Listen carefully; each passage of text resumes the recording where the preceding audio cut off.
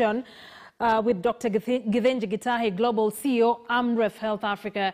He's as well a board member, Africa CDC. Dr. Githinji, always a pleasure to have you here on KTN Prime. Now, just straight into it, the WHO now terming uh, coronavirus as a possible endemic, a virus that may never go away, and we might have to learn how to live with it. What does that mean for us as Kenyans? Yeah, thank you, Akisa, for having me. Um, what it means is when the WHO says that uh, coronavirus is, is a pandemic to begin with, what it means is that you have multiple epidemics in very many countries. That's how it becomes a pandemic. But then um, those multiple epidemics can then become endemic. Endemic means that in an epidemic, you're saying it's, a, it's an outbreak, an, an increase in disease among people within a very short time. Endemic means it's now within the community or, or the population that we are dealing with, and may, just like the flu, come up, go down, come up, go down. And we have many diseases that are endemic in Africa. You know, influenza or flu, malaria is probably one of the most common endemic diseases. It's here with us. You treat it, goes away, then you get it again. Uh, HIV is also endemic now because it's here with us and there is no uh, vaccine in, in sight so far. Um, so it means that we'll have to accept the disease with us and then take the necessary measures to um, keep it at bay, just like we do for HIV and just as we do for malaria. What are some of these measures then that we need to start thinking about that will go a long way in just helping us adjust into a number of new normals?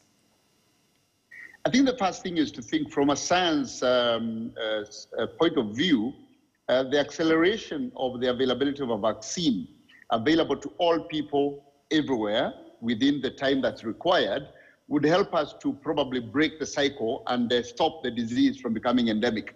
So the scientists racing towards a vaccine would help us to stop it from being pandemic. The next thing is obviously we found a cure, you know, med uh, medicines that would help us to control the disease. But most importantly, from our point of view, mm. it is to reduce the transmission. I'll, I'll tell you that uh, the various ways of, of doing this is that we want to ensure that you reduce the rate of transmission from one person to another. We know the coronavirus is carried by people. It doesn't travel on its own. So mobility, the movement of people, reducing the movement of people is one way to deal with the endemic disease because it means that people will still get infected, but at a slower rate. Because the biggest challenge is having a boom of infections and therefore having so many people who require hospitalization and then it may collapse the health system and you may be unable to provide for them. So we have to continue social distancing. We have to continue the hand washing, which is obviously a good behavior, not only for corona, but also for pneumonia, for cholera, for all the other diseases. Mm-hmm. And we may need to find a way of how to protect the vulnerable and continuously find ways of um, keeping the infection low. But remember, whatever we do, even at that rate, is just a, the dimension of time that may take longer, but eventually a significant part of the population will be infected. Some studies uh, believe up to 60% mm hmm of the population without a vaccine mm-hmm. will eventually get infected by coronavirus. But over what period of time, uh, that is up to debate. But even with these measures of, uh, you know, controlling movement, social distancing and whatnot, we continue to do that. Countries continue to do that.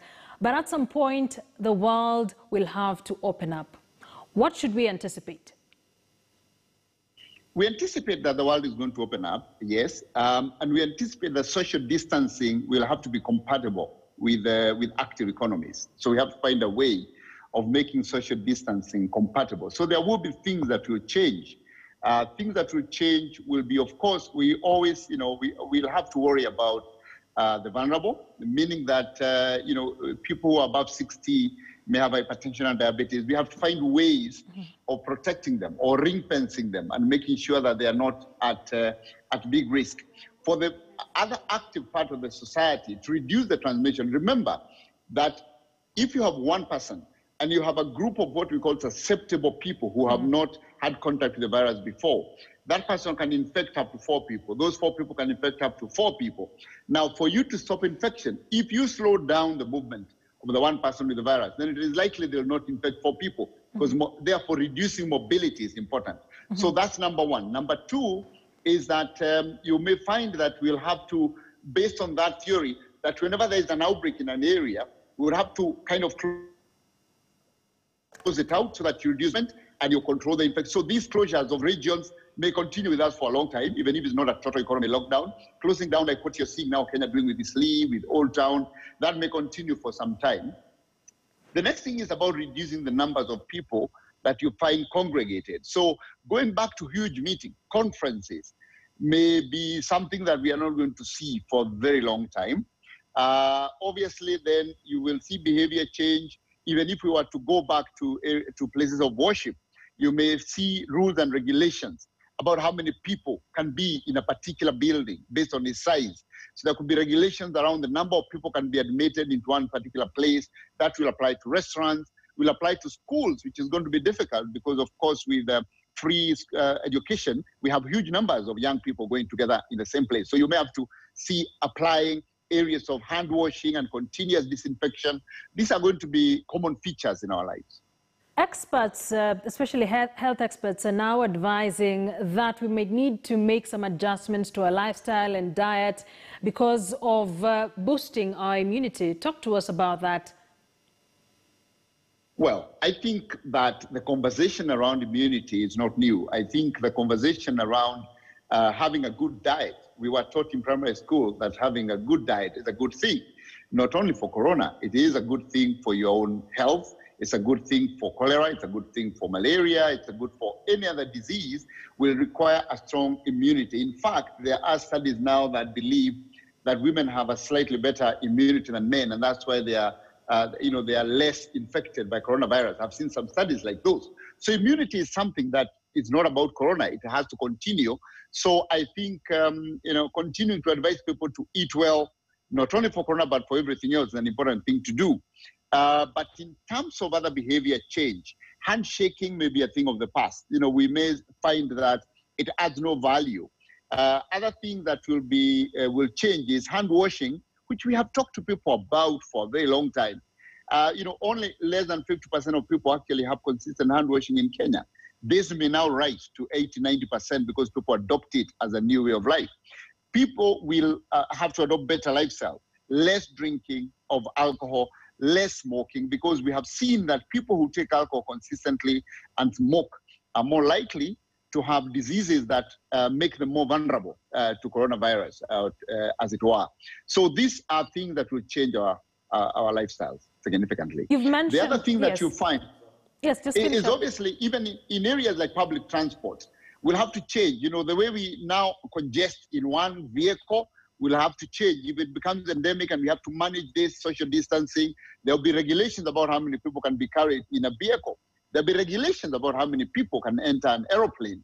So ticket prices for aeroplanes will definitely have to go up because now you can carry fewer people than you could in the past. So all these things are things we need to prepare ourselves for. You've mentioned that um, some studies show that women have, you know, better immunity, hence could be the reason why we're getting more men infected with coronavirus. You have written about male above 60 years of uh, age being among the most vulnerable. How do we safeguard this groups, uh, this group uh, particularly? And talk to us about the spreaders that you mentioned are between the age of 20 and 40. How do we go about it? So in every particular disease, there are people who are, you know, in epidemiology, call them super spreaders, people who infect others in a very rapid way. If you look at something like uh, cholera, for example, and you may have somebody who is cooking for people in a restaurant and they have cholera, they can spread it to very, very many people, but they are the carriers, okay? Now, in this particular case, if you are to look at, um, at, at, at uh, COVID-19, we know that mobility plays a very big factor in spreading the disease. It's like the speed of mobility increases the speed of transmission. If you have one person who is going to meet 100 people in a day, shaking their hands, interacting with them, then it's likely that a lot of the people he meets, or a good percentage of them, will get infected. That's the same reason why we have seen home clusters. You know, you get a, somebody who is infected, they go home, and they eventually they infect their children, their relatives, so this, but when so when you now slow down the movement of those people, you find that you have less transmission. So if you are to look at the uh, segment of the population and you look at who are the most mobile people, it's the active working people, 20 to 40 years, for example. And if you see the numbers of infected people in Kenya, about 70% of them, I think it's 76 if I'm not wrong, or even higher, are within that bracket of 20 to 40 years. Why? Because they are highly mobile. They are moving. They are interacting with others. So this is why I was using the term spreader for this category because they are the ones then who then go back home and they find their elderly parents or grandparents or relatives, and then who are probably at home for the whole week. They haven't moved, and therefore they transfer the virus. Mm. So this the correlation I was trying to make that we need to realize that our movements may not put us may put us at risk of infection, may not put us at risk of severe disease, but will put our people that we live with in severe disease because they are vulnerable. They are above 60 years and they are male and they are and male, they may have hypertension or diabetes. So we must remember that the vulnerability is in that group and we must protect them ourselves even before the government can come to say what measures need to be taken. Which is why you reflect when the government said stop rural urban and urban rural migration. Yeah. It was a way to protect these people because Right. that's where they that's where they belong. Yeah. So we have to keep these things in mind.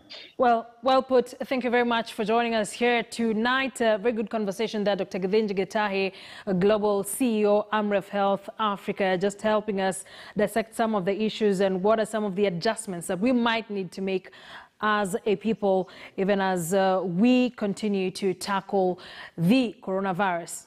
Now, away from that,